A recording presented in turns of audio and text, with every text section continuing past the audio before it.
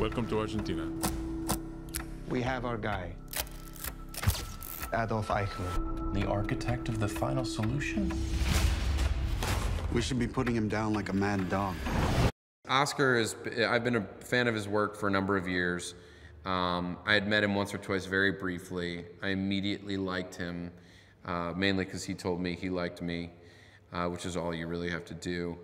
But uh, he's a guy whose work I've really respected and only respect more now having worked with him. He's so, uh, he's a producer on the film, he's incredibly smart, uh, he's incredibly thoughtful about his character, about the scenes that are happening, what the best version of that scene is, and, and really constantly is asking the question, why is my character doing this? My job was simple. Save the country I love from being destroyed. Is your job any different? To work with someone like Sir Ben Kingsley, um, you know, has been something that you, you can only dream that you get to work with um, an actor as uh, talented and, and hardworking and storied as Sir Ben Kingsley.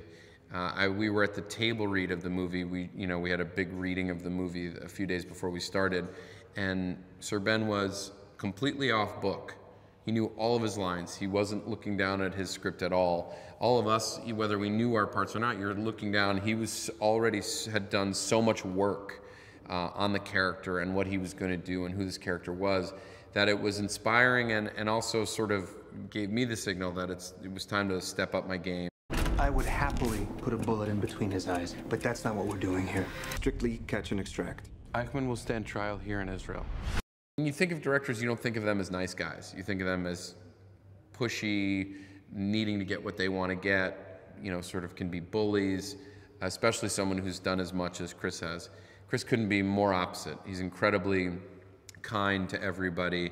Uh, he's incredibly collaborative. He wanted to know what we thought about our characters, about scenes, not only at the beginning, but at the beginning of every day. Um, and he gave us all ownership over our characters and the story. And it, it, and I think he did that with every department. And so I think everyone felt quite a bit of ownership over what was coming, what they were working on. Um, he's got a sure hand. Um, he's funny, and I think he's got a great eye. And I think, look, he casts a hell of a movie. We're all animals. Some of us just have bigger teeth than others.